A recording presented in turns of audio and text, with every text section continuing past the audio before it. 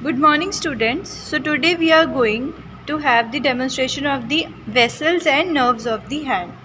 So first of all we are going to start with the ulnar artery. So ulnar artery is a branch that was given off in the cubital fossa from the it is a branch of the brachial artery. So this is the ulnar artery that is coming from beneath. Here we can see this is the ulnar artery. This ulnar artery is passing superficial to this structure that was that has been dissected. This is the flexor retinaculum. Ulnar artery enters the hand or the enters the palm region by passing superficial to this flexor retinaculum but deep to one ligament that is volar carpal ligament. Now this ulnar artery is dividing into two branches. First branch is this one. This is the only branch that is the superficial palmar branch and the other branch that is the deep palmar branch. Now this is this is the uh, ulnar artery now the, the, it has two branches first is the main this is the superficial palmar branch and another branch is this this is the deep palmar branch which we can see here next we come to the superficial palmar arch this arch represents the important anastomosis between the ulnar and the radial arteries. It, the convexity of this arch is directed towards the fingers. Now the formation of the superficial palmar arch. The superficial palmar arch is formed by the direct continuation of this ulnar artery beyond this retinaculum that is flexor retinaculum and which branch is participating? This is the superficial palmar branch of this ulnar artery. On the lateral side this arch is completed by a branch of this radial artery that is the superficial palmar branch. So here this arch is completed.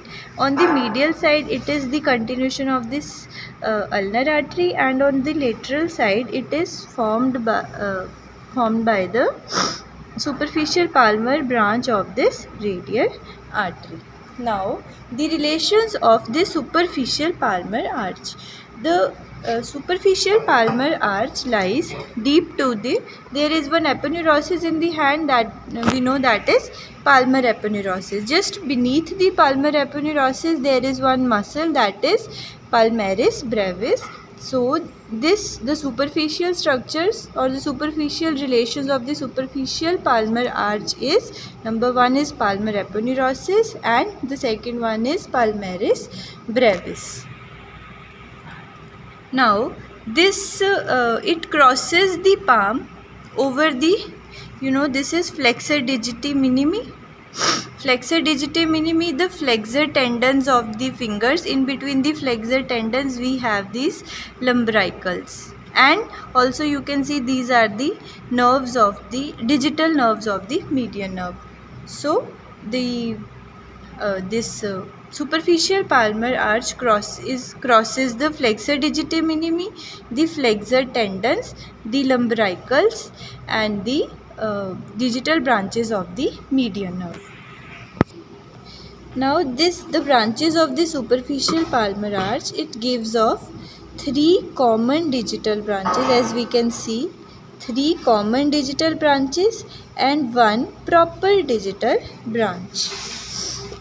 These common digital common digital and proper digital arteries they supply the medial three and a half fingers. These are joined by the corresponding palmar metacarpal arteries from the deep palmar arch.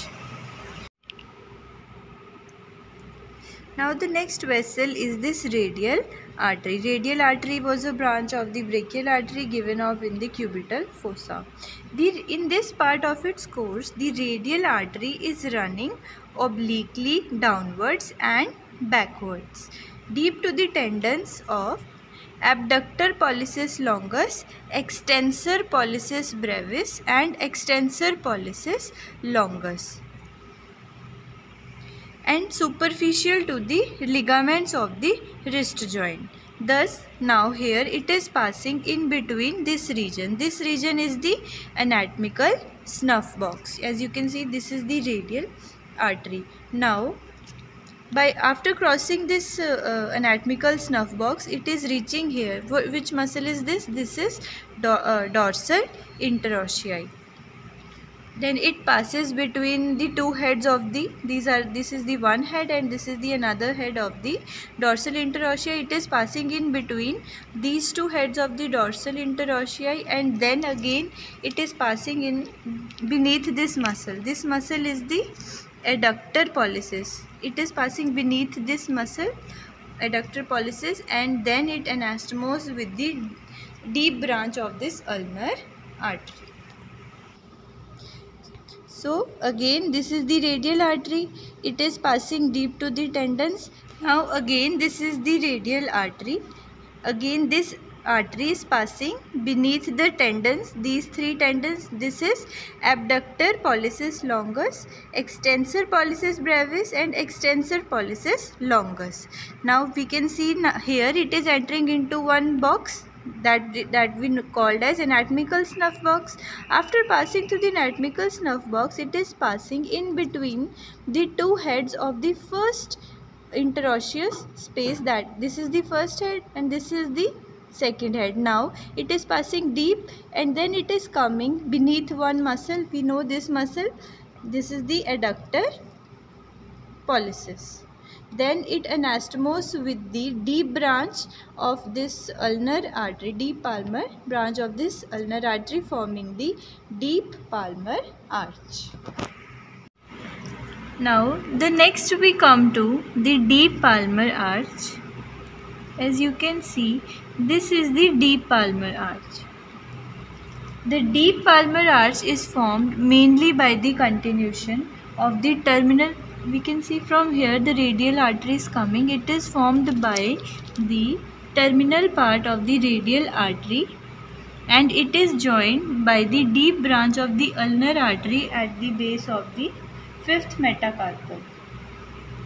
At the base of the fifth metacarpal this uh, the radial artery is joined by the deep branch of the deep palmar branch of the ulnar artery now, relations of this deep palmar arch. The arch lies on the pro proximal, these are the shafts of the metacarpal, it lies on the proximal part of the shafts of the metacarpals.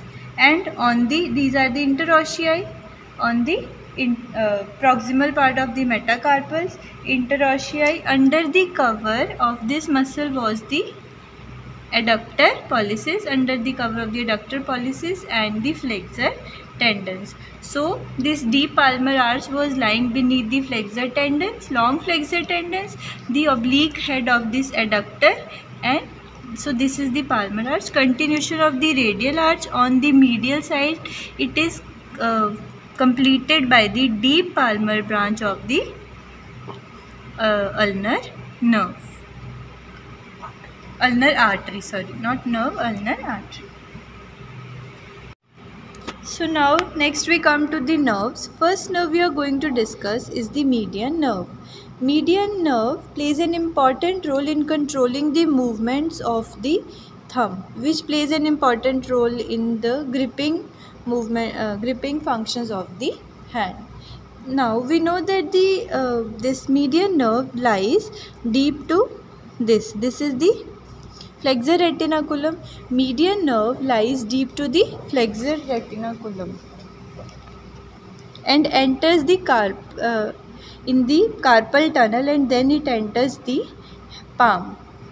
Immediately below this flexor retinaculum, this me, uh, median nerve is dividing into two branches that is the lateral branch and the medial branch. We can see the lateral branch is giving these branches these are the muscular branches to the muscles of the thenar eminence. And also we can see this is another branch that is the for the one for the uh, this index finger and one for the thumb cutaneous branches So the lateral branch it gives off muscular branch and the cutaneous branch. Muscular branches to the muscles of the thenar eminence and cutaneous branch is supplying the one side of this index finger and the thumb. Also we can see this is first lumbrical. It is also supplying the first lumbrical. Now this is the medial division. It is giving off common interdigital branches on the either side of the fingers. And also it is supplying the second inteross uh, second lumbrical muscle.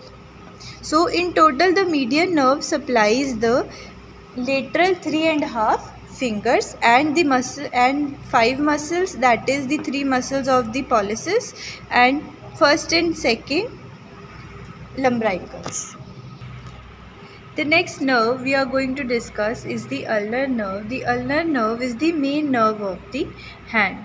The ulnar nerve is passing superficial to here that here was the flexor retinaculum. The ulnar nerve was passing superficial to the flexor retinaculum. It terminates this ulnar nerve it terminates by dividing into a superficial branch and a deep branch. The superficial branch is cutaneous and this deep branch is passing through the muscles of these are the muscles of the hypothenar eminence you can see these are the flexor abductor and opponens uh, digiti minimi so uh, this deep uh, deep branch is passing through these muscles of the hypothenar eminence to lie in the concavity of the deep palmar arch. Here beneath these muscles there lies the arch that is deep palmar arch and finally this deep branch it ends in the adductor pollicis muscle. Now this is the superficial branch.